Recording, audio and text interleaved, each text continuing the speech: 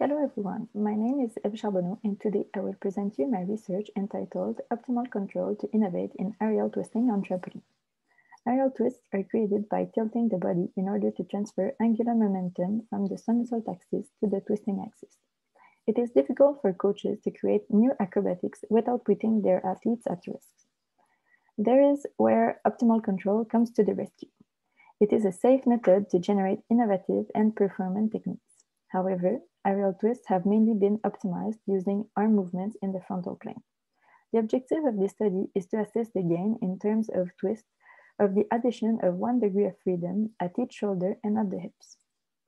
To do so, four models were used for comparison. Models with one degree of freedom per joint were referred here as 2D model as opposed to 3D model, which have two degrees of freedom at each joint.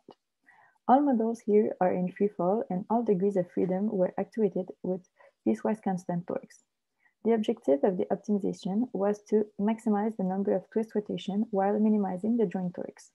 The only constraints of the optimal control problem were to keep the joint angle in a physiological range and to complete the movement in line with the sport requirements.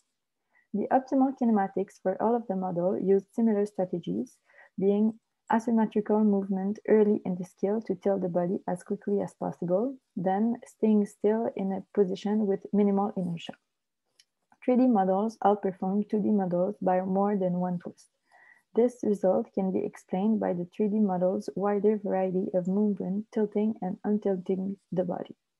On the same train of thought, the addition of the hips mobility to the 3D model resulted in an increase in twist rotation due to the greater possibilities of tilt creation.